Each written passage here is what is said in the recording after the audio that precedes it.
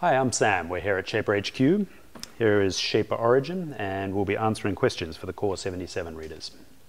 So one of Origin's key features, its portability, means that it's going to be exposed to much more dynamic environments uh, than a regular gantry CNC machine. So to align elements to the, that environment, we've had to be a little bit cunning. So here we've got a, a panel of uh, poplar uh, end grain, which means we wouldn't be able to fit it in a conventional CNC machine. So we're trying to align our cuts to this.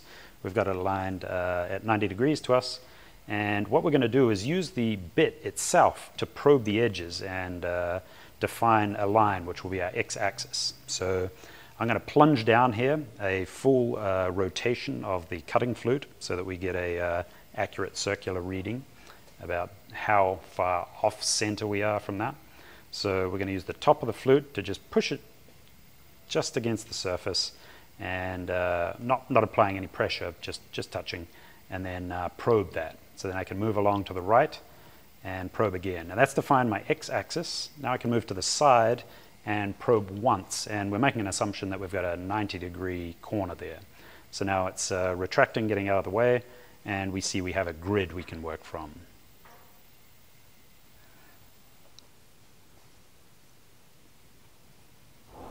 So we're going to use uh, one of the dev tools, this box joint feature, and uh, we're just going to enter the data about the size of our piece of poplar. So 0.77 inches wide, 3.5 inches long, and we'll make 5. So when we go create joint, we've got this elements popped up. Now you'll see as I move around, it starts to behave a lot differently to what you've seen in the past. Uh, you'll see it snapping to uh, 0.8 inch increments. So uh, that enables us to align things very nicely. So now we're confidently aligned to 0, 0. And you'll notice as I rotate, uh, we're not, it's not rotating with the tool. It's now uh, locked into the uh, rotation of the, of the probed XY axis. So Clicking there, we now can confidently say we're aligned in this corner at 0, 0. So uh, I'm going to go ahead and start cutting this out and we'll show you the results. Okay, so we're going to go in and cut this now. Uh, I'm just going to do a quarter inch depth uh, cut and we'll see how this works out.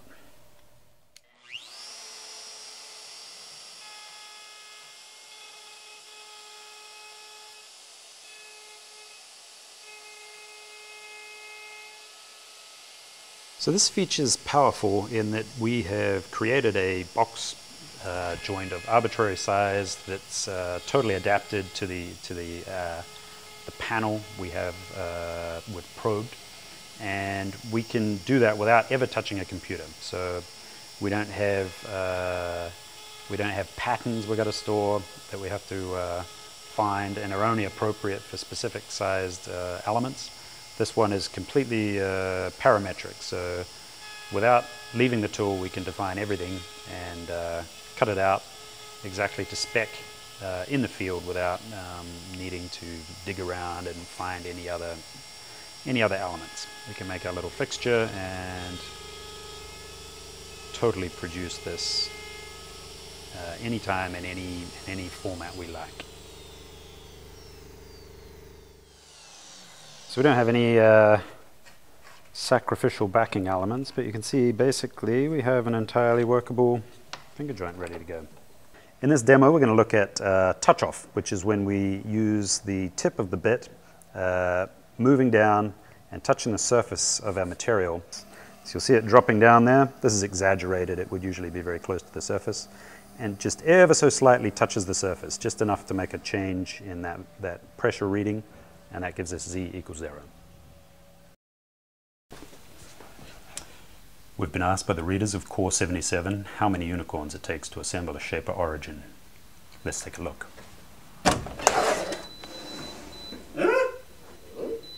Four. Four unicorns. Hey, this is Noah at Shaper HQ. Uh, so I wanted to show you today the, uh, the knot fill uh, that was featured in our launch video. And we agree, uh, it was a little bit confusing uh, because we had to edit it down. You didn't get to see uh, making the positive part of it, which um, we want to show you today. So I'm going to start by just grabbing uh, the file and placing it down. Um, so that's placed. And so what I'm going to do is I'm going to set an offset of a 1 16th. And what that's going to do is it lets me take sort of a what we call a roughing pass all the way around. Uh, that's a pass where I kind of don't care uh, about the uh, cut quality quite so much. Um, and I'm going to come around a second time and do a finishing pass, uh, removing only that 16th of material all the way around, around the edge, and, and that makes it uh, a really clean, nice edge uh, so that it fits nicely into the negative we'll cut later on. So I'm going to go ahead and cut this out.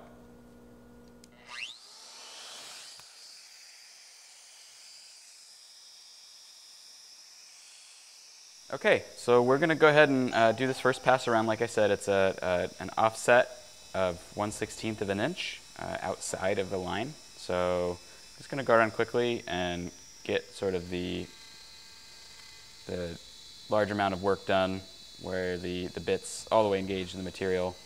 Um, and see that goes pretty quickly around.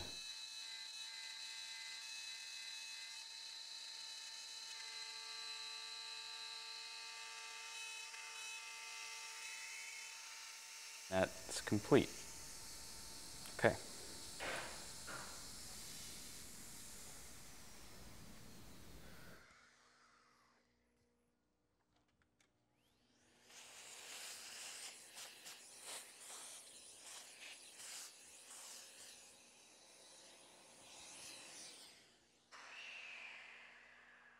Okay, so now that I've done that roughing pass, I'm going to set my bit offset to zero and that means right on the dimension that I, uh, that, that I drew. Uh, and go ahead and go around it one more time. So like I said for this, uh, we're just removing a tiny bit of material going around the edge, and that means that the, the tool is less engaged um, and the spindle speed can stay up faster. And just in general, it, the, the, the, net effect of all of that is that you get a much, much nicer, cleaner edge than you would on a fully engaged cut. Uh, and you can see that goes pretty quickly.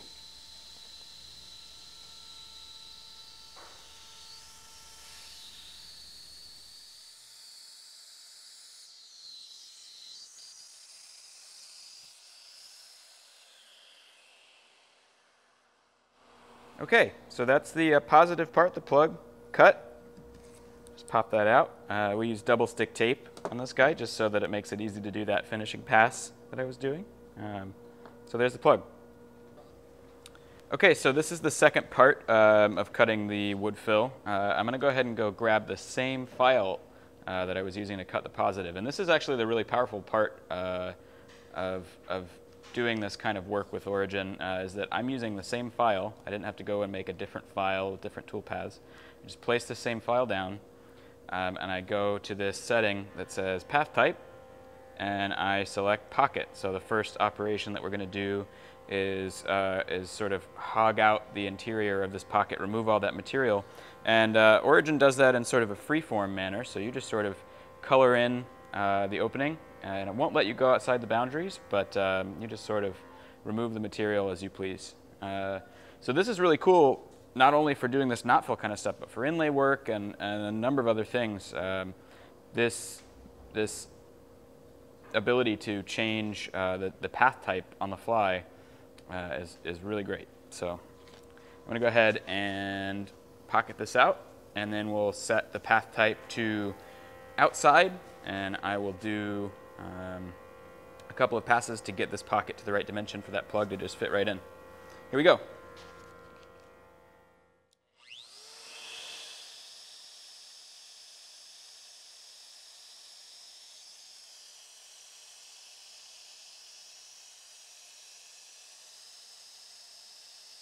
Pocketing with Origin is uh, very free form. Uh, you move in the interior of the pocket uh, and, and fill that in and you can see that it tracks where you've been so you're kind of just like coloring that area in and, uh, and when you get up to an edge or a boundary uh, it, it doesn't let you leave the boundary so it, it, it keeps you from, from making mistake at the edges and you can choose what to do in the interior.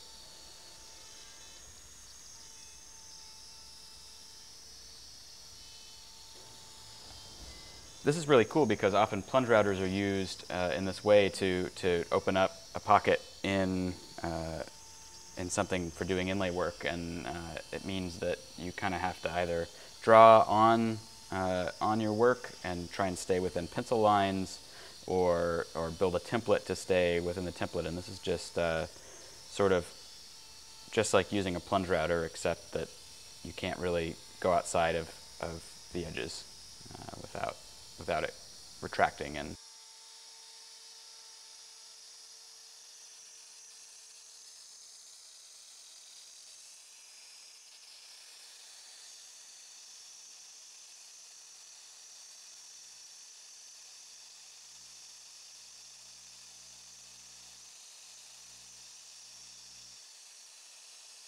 Uh, just going around the edge of this first pass, uh, you can see that after I did the pocketing, it leaves kind of a, a, rough edge. And so that edge is offset actually in the pocketing. I'm just using, using the uh, new path type to clean up the edge. And now we'll start sneaking up on that dimension to get the plug to fit.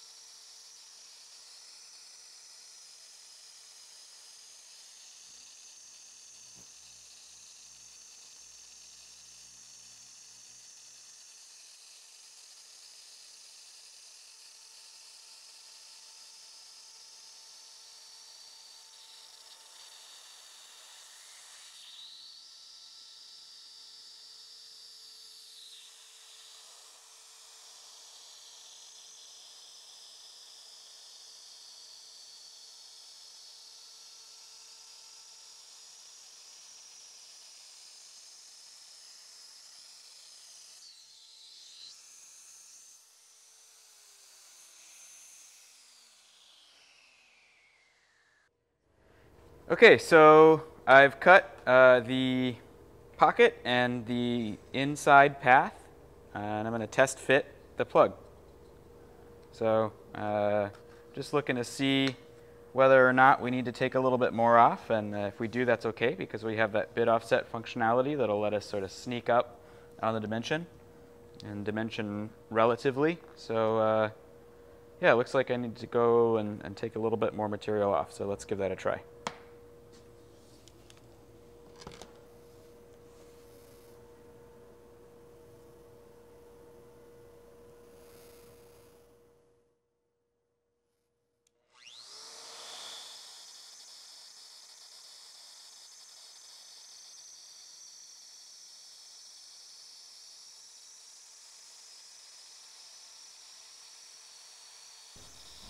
So right now we're actually removing very little material. Um, and, and the goal here is just, I, I don't want to make the pocket too big. Um, I want to make it sort of just right to fit that plug. So I'm going to keep sort of uh, guessing on the offset and checking to see if the plug fits. Look at that, nice snug press fit. So uh, we had a lot of questions about our tape and we just wanted to address them. So one of them was, does it leave residue on the work surface? So yeah, here it is, just lifting it off.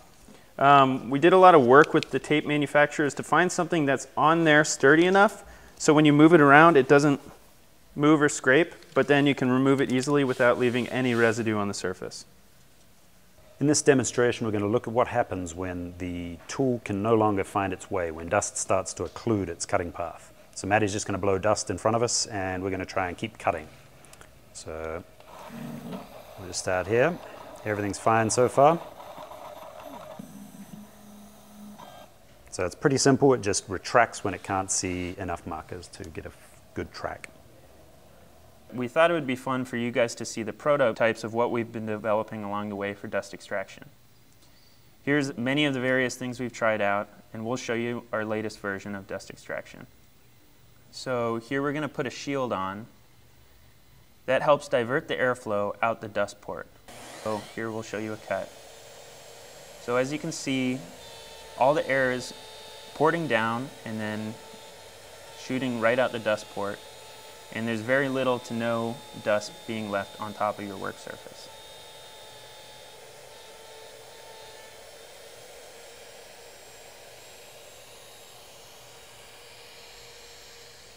In this demo, we're going to look at the speed the Z axis retracts the bit to uh, prevent damaging your workpiece if anything goes wrong, if you drift too far from a curve or we lose track of markers. So I'm clicking the button. Beautiful. We've seen the z-axis retract quickly out of the way, and uh, so that's its mechanical abilities. Now we're going to look at how that influences our cutting quality. So this circle we see on screen is our uh, corrective range. So that's the area the tool can move to compensate for our motion. As it reaches the limit of this, we'll see it become a dotted line as it crosses over.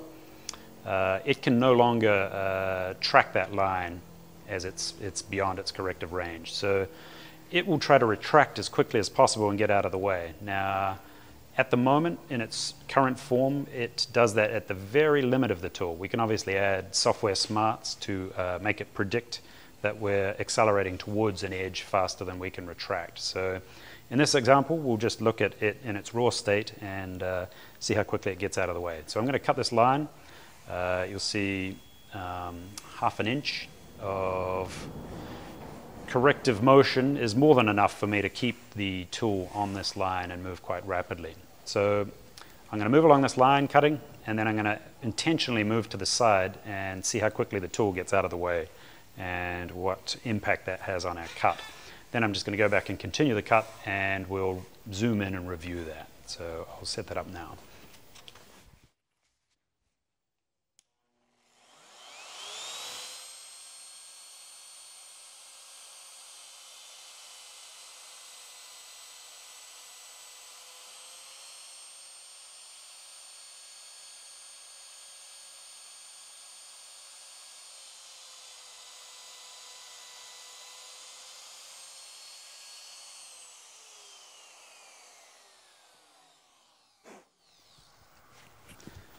So you'll see we have a clean cut running most of the way along here, and then where we went beyond the range at a modest rate, the tool uh, retracted as quickly as it could and left this little nick. Thank you for your questions and queries. Uh, I hope those videos helped uh, communicate what uh, Origin is currently capable of. We'll be uh, continuing to improve its performance, its feature set, and uh, the user experience in the coming months. if you want to keep up to date with that, uh, sign into our website, shapertools.com, and uh, down the bottom there's a little subscribe button. Uh, if not, just keep going back to the features section where we'll continue to update uh, as new features are made available. Thanks.